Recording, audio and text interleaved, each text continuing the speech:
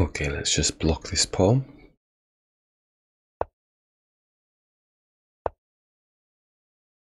Develop the knight.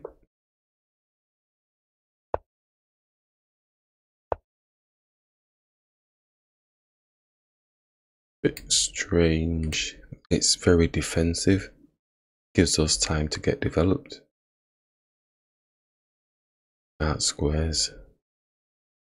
Little bit open around the king. Can we take advantage of that? Oh, they're continuing with the dark squared gaps. Let's just castle.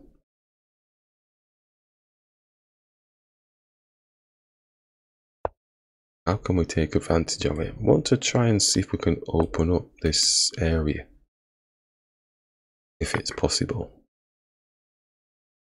Bring the queen here. Currently no protection, but now it does because the queen is there. We could come here. Just trying to target this square. And the queen is probably coming here to defend. Yeah. Right, so we've started the attack towards this weak area. Doesn't mean we have to stay in this area now. Change a bit. Knight could come here attacking this weak pawn. Going for a fork.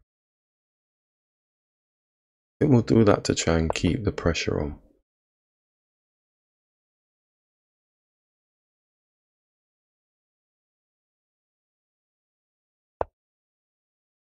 Yeah, it's the only piece that could go back and defend is this. So we go for the checkmate.